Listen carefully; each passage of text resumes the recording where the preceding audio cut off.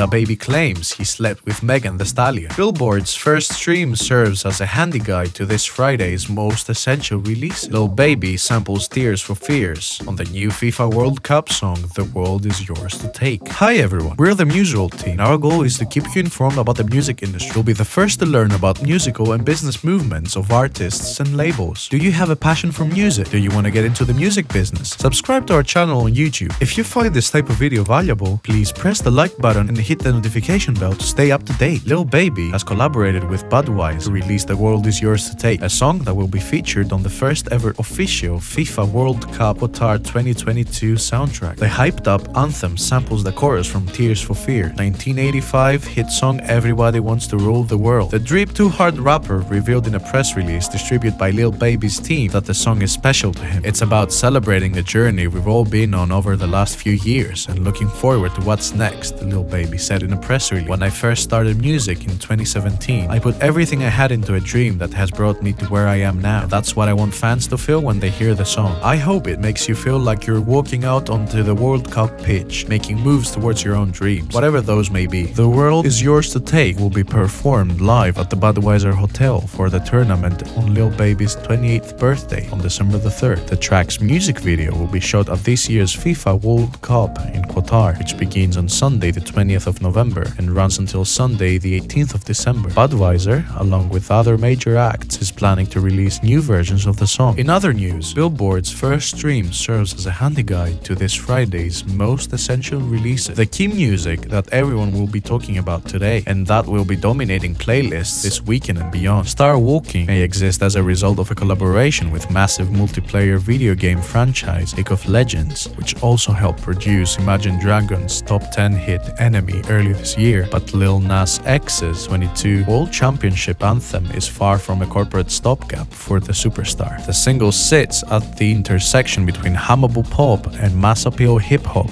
that Nas has made his home over the last few years, with A Star Walkin' like Enemy working without the gamer context and should be another hit for an artist who is just piling them up. Up next, the streets are buzzing about the North Carolina native known for his catchy lyrics and controversy, is heating up the rap game once again after alleging on a new track that he was intimate with Grammy-winning star Megan Thee Stallion. DaBaby has released Baby on Baby 2, 14-track LP that includes the song Boogeyman, in which he claims to have a sexual encounter with MTS. You play with me that was childish. I was f***ing on Megan Thee Stallion the day before she said Tory Lanez shot her raps. DaBaby is referring to alleged rapper and singer Lanez shooting Megan in the foot in July 2020. On September 14th, a judge granted a delay in the shooting trial, waiting to say that in my next album, he did the day before as well, but I kept it player, he continued. I ain't going to say anything about her pretty boy boyfriend was tweeting me, ready to die like a coward over the bit.